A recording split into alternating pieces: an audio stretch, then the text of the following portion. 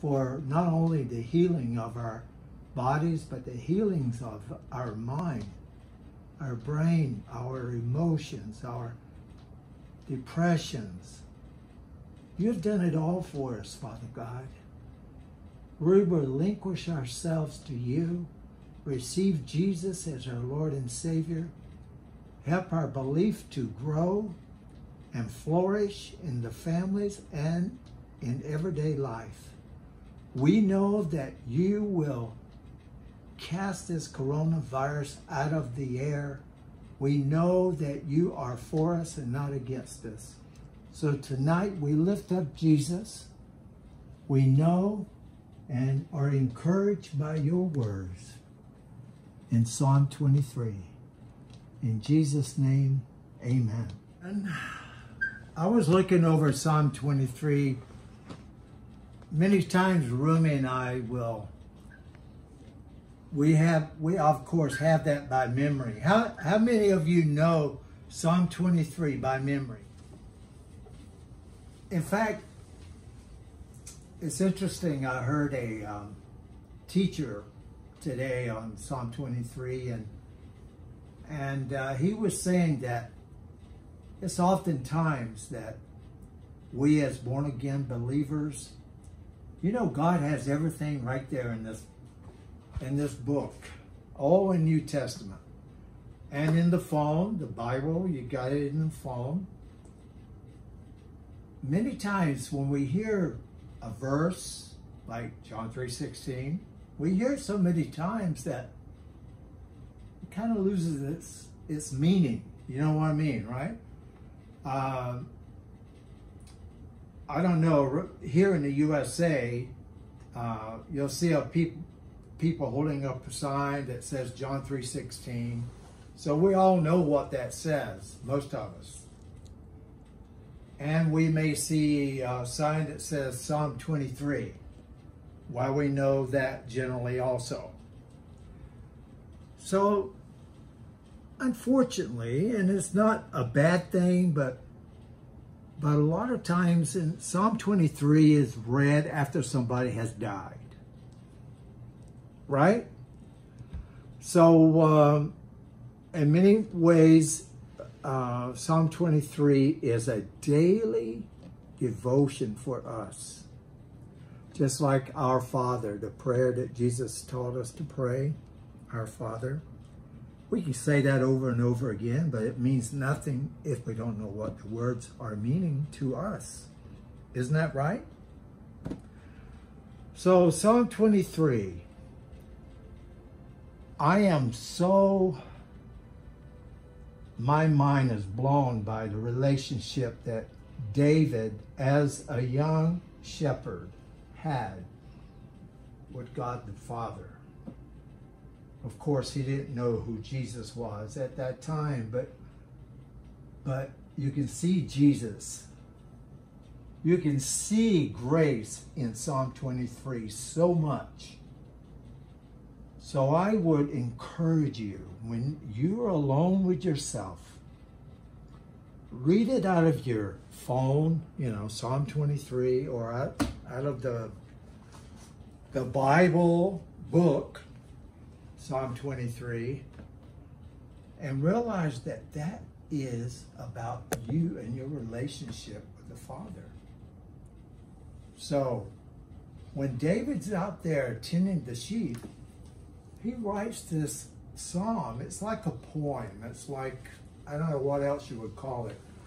But it has some really good, like a, like a beat to it. Psalm 23.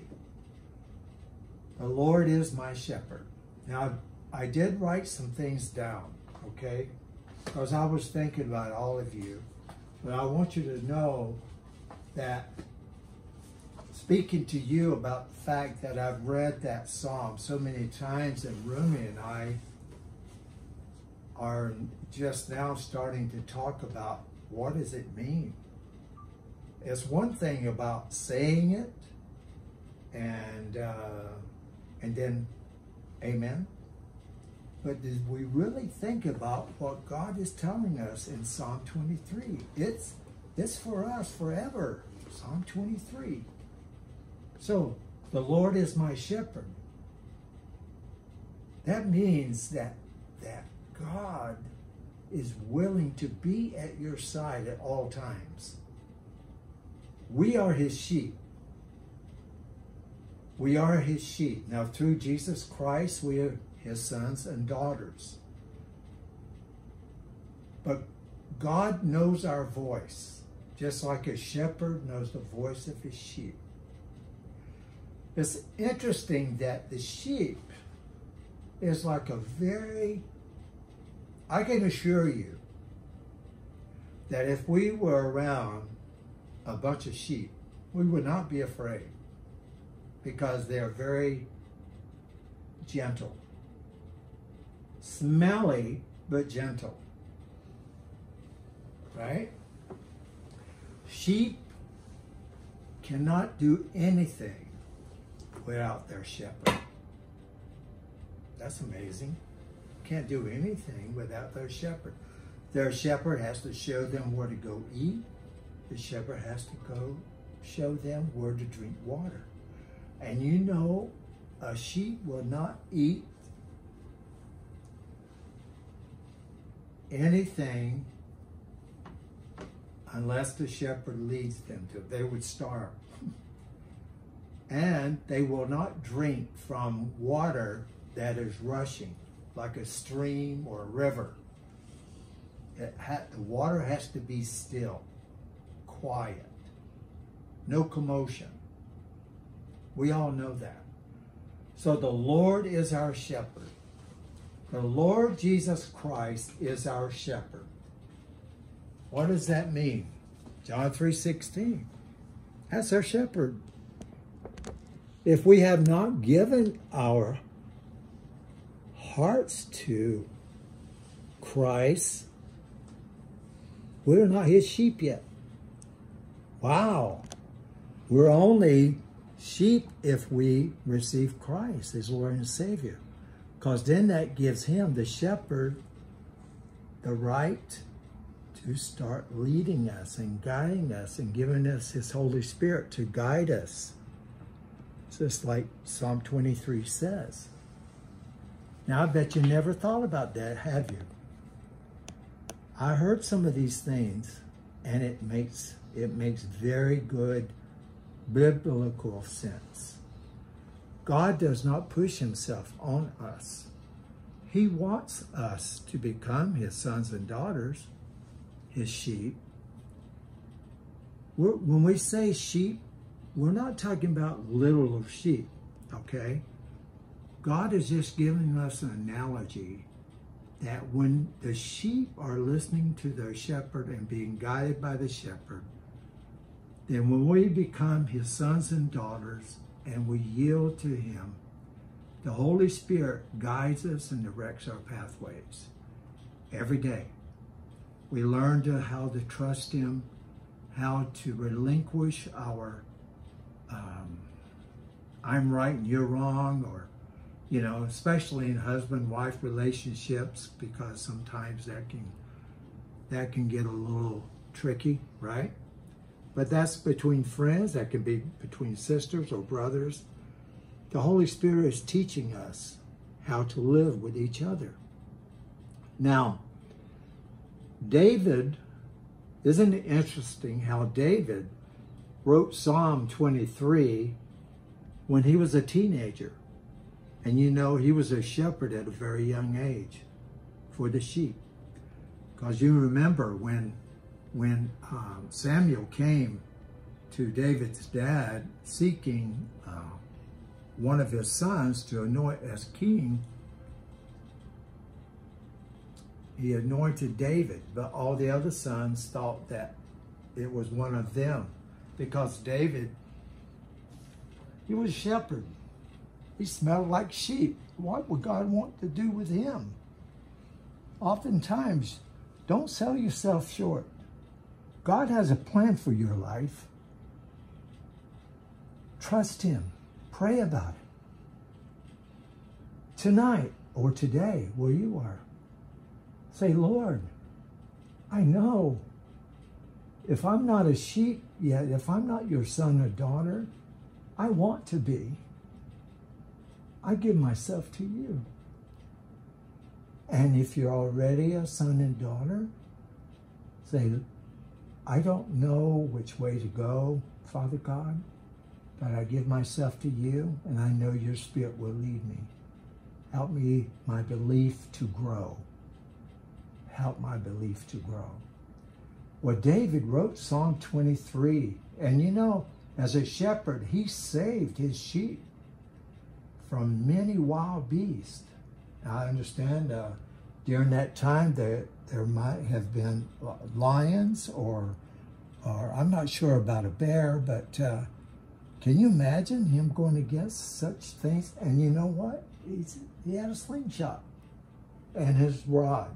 You know, um, shepherds always had a, had a rod that they would take so they could so they could uh, put a uh, just like my wife takes this. Let me see that. Let me see that green stick. Okay. Now see this. This is a massage stick. But imagine this being longer, longer, maybe six, seven feet tall and, and thicker. David would have one of these, and if uh, a sheep got tangled up or on the side of a hill, you could put the, this around the head of the sheep and pull them out or pull them up. And the other thing you use it for is to beat off beasts that would attack the sheep. And uh, primitive weapons, slingshot, primitive weapon. But who can tell me what was used to kill Goliath? Can you tell me? He used the, the uh, slingshot, right? Well, when he wrote this psalm, we believe that the Spirit inspired him to write the psalm. So I'm going to read it to you. Okay, and if you have your Bibles, you can go with, along with me. Psalm 23. The Lord is my shepherd. I shall not want. Now, what does that mean? I shall not want? I used to think that. What does that mean, I shall not want?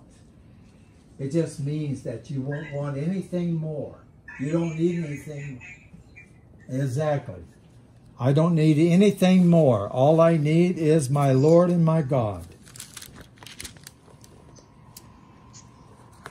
He makes me to lie down in green pastures. What does that mean? Well, you know, the sheep had to eat. But many times the shepherd watched over them while they were eating. And this was a restful time. They would lay down because they had no fear the shepherd was there. Can you think of yourself being like sheep, needing God to watch over you? Don't we sometimes, many times, pray that God will watch over us tonight when we are sleeping in the bed? Of course we do. We're his sheep. We're his sons and daughters. We belong to him. He leads me beside uh, still waters. That means that what we were talking about, sheep will not drink out of water that is moving. I don't know why, but they are just very fearful. They're very timid. So they won't drink out of shifting water or rushing water. The water has to be calm. Okay? And then he restores my soul. Right now, the Holy Spirit is involved in restoring your soul and mind. Right now, as we are talking and listening. I might be talking and you're listening, but at the same time, we're being restored in His image.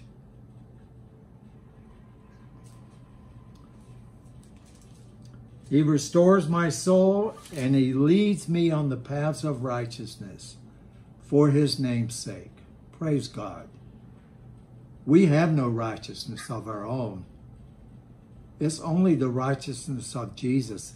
Imagine this was this was written a thousand years, maybe more, uh, than when Jesus came upon the earth, and yet it's like Jesus is there right now in Psalm 23. And it talks about he leads us on the paths of righteousness for his name's sake. Yes, though I walk through the valley of the shadow of death, I will fear no evil. Though I walk through the valley of being locked up because of coronavirus. I will fear no evil. See, we can put some personal things in some of these scriptures. It's not, it's not, it's not making the scriptures non-valid. It's making the scriptures mean more personal uh, meanings to you. So put yourself in the picture of this psalm. Put your name in it when you're reading it. So, yea, though I walk through the valley of the shadow of death, I, Jim, will fear no evil. For his rod and his staff, they comfort me. Remember the rod I just showed you? A similar weapon that David had? Even though we're going through a rough place, just imagine. Now, Psalm 91 is really good too. Psalm 23. Oh, it's a good one to remember and say every day and pray over it. I will fear no evil, for you, Father God, are with me. You are with me. I, I am loved by you. I am the apple of your eye, just like David, King David was. As Jesus is with you, so am I. Praise God. And Father, it's amazing that through all of the situation of what we are going through, you have prepared a table for me. A table, bread and wine, like communion, isn't it? It's anointing my head with oil, giving me peace, renewing my mind, renewing my body, renewing my spirit within me by your spirit. Oh, Father, there's nothing I can do. You're doing all of it. I'm just receiving it. Thank you.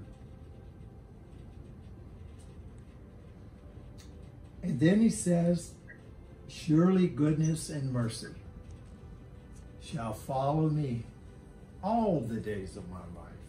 How, how, ever how many years that God has planned for us to live, He's always with us, never away from us.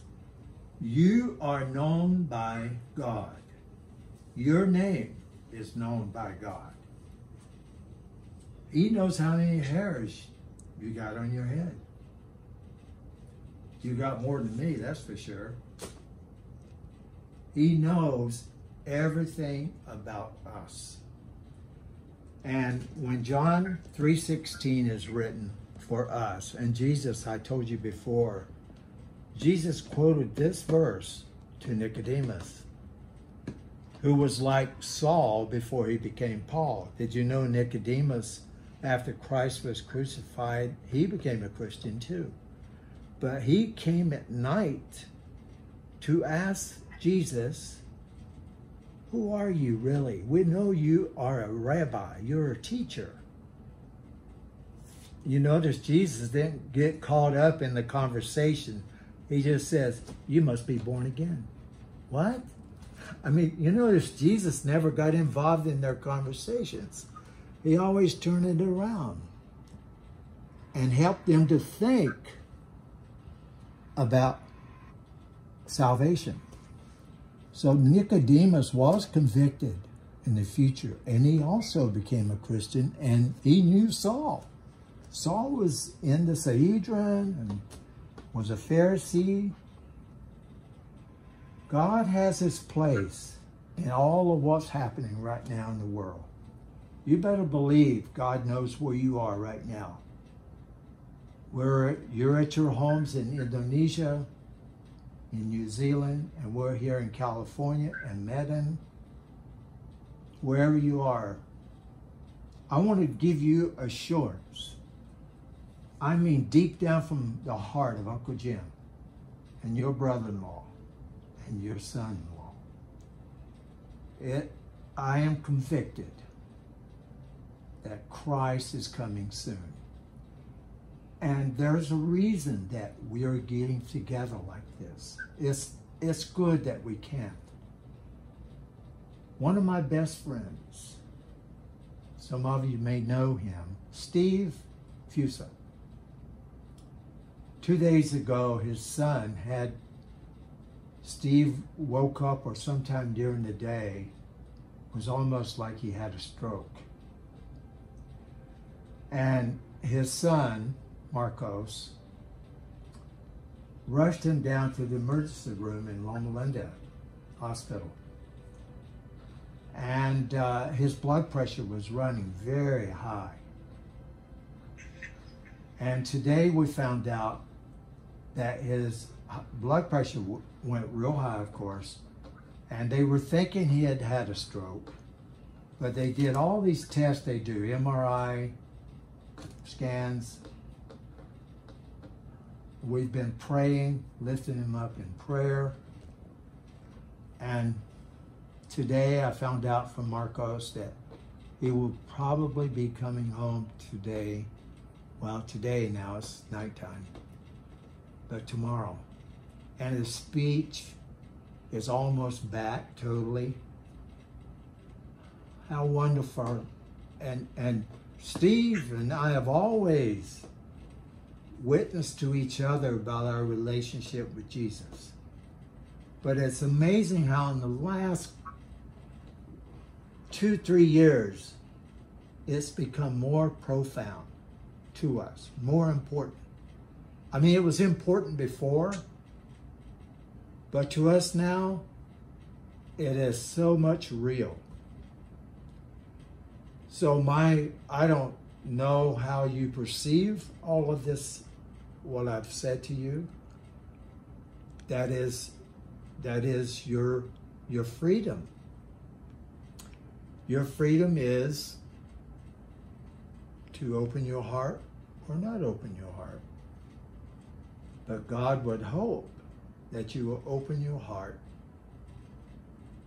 and receive Christ as your Savior. And if you have already done so, just know it's okay we blow it. We blow it sometimes. We don't do the right thing sometimes. It's not about doing right. It's about who you believe in. Our, our, when we come up before the for Jesus, he's going to say, well done, good and faithful servant. It's not going to be about what we did or didn't do. It's just receiving Christ and what he's already done. That's the important thing. Amen? God bless all of you, okay? So next time you read Psalm 23, do it as a husband and wife. Do it as a family. Do it slow and ask everyone, have everybody respond on what they think that means. And get Google. Google, uh, you can Google anything, Psalm 23, and, and read about the thoughts that other people have written about Psalm 23. It's very, very informational and educational. God bless all of you. Love you.